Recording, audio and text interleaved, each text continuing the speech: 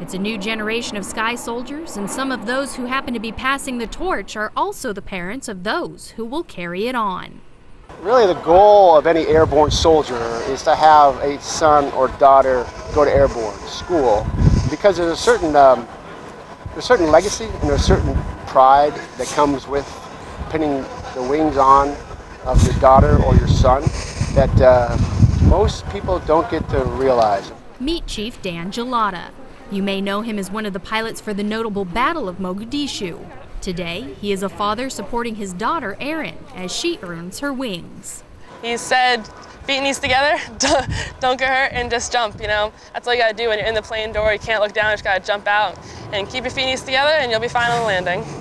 Not only is there one father daughter team taking to the skies on this day, but a father son team who happens to be earning both their airborne wings together. The very first jump that we made, I was the first jumper and he was right beside me. And the weather was a little bad, so we got to stand on the door a little bit and got to look out. And looking out across, you know, across Alabama and Georgia, it was kind of, it was kind of soothing. Give us both time to talk about it and decide that we could jump out that door. And then when it was time, we stood up, we hooked up, and we went out that door. And we went out together. Private First Class Rabun had to perform at the top 10% of his class to earn a slot in airborne school. It wasn't until his graduation that he learned he would be attending with his father. And on this day, there was no one he'd trust more to rig him up. He handed me his orders, and when I found out, I was, I was excited. Throughout basic training, I'd call him and I'd ask him when he's going to airborne school with me. And he'd always tell me the same lie he's not going, he couldn't get it, or he didn't have time. As they prepped to take flight, both Drill Sergeant Rabun and Private Rabun took turns rigging each other up. Ensuring that the parachute was properly fitted, back straps were tightened, and the reserve was connected correctly prior to final inspections. One error could spell disaster in the sky. I mean, as parents, all we can do is try to set the best example for our children to, to, to follow.